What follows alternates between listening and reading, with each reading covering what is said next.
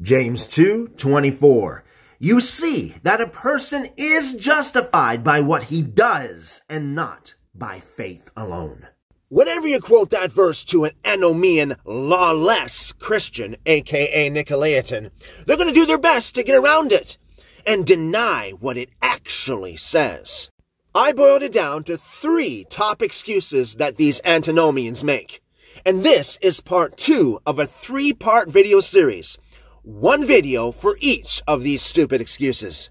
In this video, we're going to debunk the second excuse. And that is, well, the epistle of James is only for the 12 tribes because James chapter 1 it says to the 12 tribes scattered abroad. It's not for me. I'm a Gentile. That's for the Jews, okay? Uh, Paul is for me. Uh, that is for the Jews. James is for the Jews. Now I gotta give it to them because at least they acknowledge what it actually says. That it's about being justified by works in the sight of God. And they also acknowledge that James teaches something completely different than Paul. I mean, kudos to them. They didn't get it all wrong. But they failed miserably by engaging in three serious fallacies. Number one, inconsistency.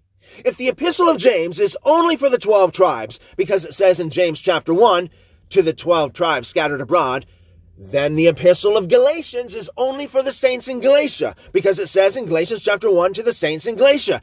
And the epistle of Romans is only for the saints in Rome. Number two, they are admitting that they're not part of the 12 tribes.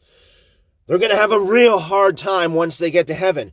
Revelation chapter 21 says the final destination, the heavenly city, the New Jerusalem, will have 12 gates, one gate for each of the 12 tribes. What gate are they going to use? If the epistle of James is not for them because they're not part of the 12 tribes, then the heavenly city is not for them either because they're not part of the 12 tribes.